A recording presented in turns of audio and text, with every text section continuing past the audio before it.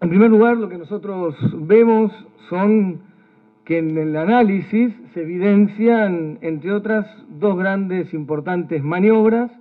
que buscan lisa y llanamente burlar la ley, burlar el objetivo de la ley, burlar el cumplimiento de la ley, simular cumplir la ley, en muchos casos la ley hay que cumplirla, no hay que simular cumplirla, y lo que busca en definitiva es seguir sosteniendo su posición dominante, seguir sosteniendo esa posición, por lo tanto no garantizando el espíritu de la ley, que es que haya absoluta independencia entre las distintas empresas y el mundo de la comunicación audiovisual, insisto, para garantizar la libertad de expresión, la pluralidad y la diversidad. En el marco de la propuesta de adecuación, el Grupo Clarín nunca declaró la existencia de estas sociedades constituidas en los últimos 40 años. Básicamente no lo declara porque no podría, porque es absolutamente incompatible y porque ellos mismos reconocen que tienen que ser independientes y no lo son. Y manifestó entonces, cuando presentó su plan de adecuación, que esas seis unidades iban a ser absolutamente independientes entre sí. Bueno, quedó absolutamente claro y queda absolutamente este, demostrado que nada de eso es cierto, que tienen vínculos cruzados por todos lados, que tienen vínculos este, comerciales, empresariales, que tienen intereses cruzados con los estudios de los fideicomisos, pero también con las sociedades comerciales que hemos descrito, que tienen sociedades en Panamá, en Estados Unidos, en Nueva Zelanda, este, en la Argentina, que son una gran sociedad todos. Yo creo que esto tiene que ver con el grado de impunidad brutal que tuvieron durante décadas.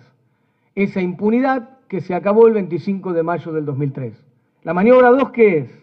El nivel de condicionamiento que le ponen a los supuestos compradores. Básicamente esto es una venta absolutamente condicionada para conservar el control, por lo tanto no es venta. Básicamente para que se entienda, yo vendo tal cosa, pongo tal nivel de condicionamiento que mantengo el control la base de que si yo compro algo o alguien vende algo, es que esa persona que lo compró dispone de eso. Lo que estamos haciendo nosotros ahora es decirle, señores, ustedes se están burlando de la ley, se están burlando de, este, de los objetivos y de la esencia de la ley, están queriendo hacer una vez más trampa, no pierden las mañas y el Estado está obligado a hacer cumplir la ley. Lo que el plan de adecuación voluntaria establece es un criterio Vos lo proponés y vos elegís a quién le vendés. Ahora tenés que vender de verdad y tenés que hacerlo legalmente.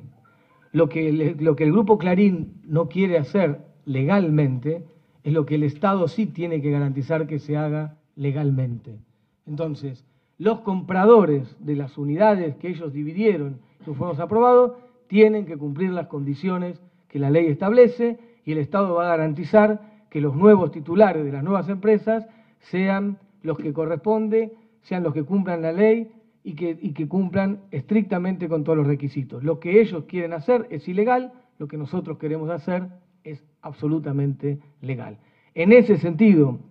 lo que nosotros estamos planteando después de todo este estudio es que hoy, que hay directorio a las 5 de la tarde, que se reúne el directorio del AFCA, este, vamos a llevar toda esta documentación, que son el fruto del estudio de las áreas técnicas jurídicas de, del AFCA, con los dictámenes correspondientes para poner a consideración del directorio el fin de la adecuación voluntaria e el inicio de la adecuación de oficio, para darle cumplimiento a la ley y para que esta ley de la democracia se aplique como corresponde y para garantizarle al conjunto de los argentinos y argentinas la democratización del mundo de la comunicación, para que estén todas, absolutamente todas las voces las que nos gustan, las que no, las que estamos de acuerdo, las que no, absolutamente todos, porque el espíritu y la esencia de la ley es garantizar absoluta libertad de expresión, absoluta pluralidad, absoluta diversidad y que el conjunto de voces, miradas y expresiones de nuestro pueblo pueda ocupar el centro de la escena pública.